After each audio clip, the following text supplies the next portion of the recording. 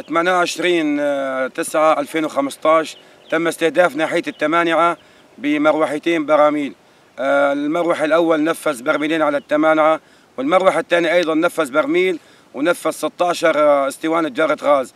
واحد جرار الغاز كما ترون اللي ما فجرت آه، على ناحية التمانعة آه، طبعا بعد الاستهداف ناحية التمانعة بالبراميل تم استهداف ناحية التمانعة من معان ومن النقطة السادسة من مورك بتقريبا سبع أو ثمان قذائف بعد أن نفذت المروحية والحمد لله رب العالمين الضربات كانت على سلم وما بنحسن نقول غير حسبنا الله ونعم الوكيل.